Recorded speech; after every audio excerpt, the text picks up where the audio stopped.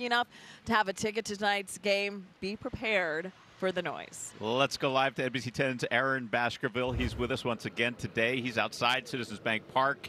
He's been resting his pipes all morning. How you doing, Aaron? Uh, I'm not doing good. My pipes are gone. You know, I'm, uh, I'm gonna need some help, but we're gonna get through it. You know, Phillies fans, we've been talking to them. Of course, they just don't want to talk about yesterday, right? That no hitter, that's gone, that's out the window.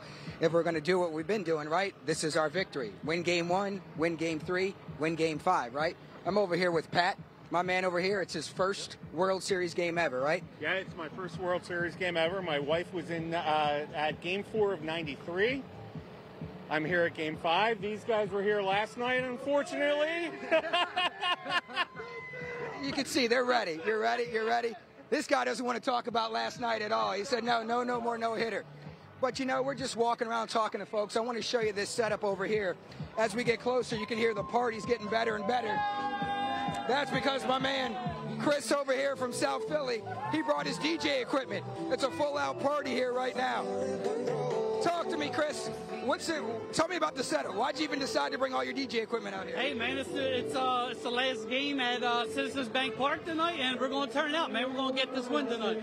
You said you were here in 2008, right? You were went to a World Series. Uh, the game got uh, rain, rained out, and then someone gave me uh, their extra ticket to come to the next game, and luckily I got to see the last time they won the World Series. And you're lucky enough to get inside today. What's that going to be like coming off of that? Obviously, the no hitter. We don't want to talk about that. Yeah. But what about tonight? You think the fans are going to rally behind the team once again? Yeah, it's going to be awesome. I actually have my uh, it's my son's first birthday. He's on his way down here.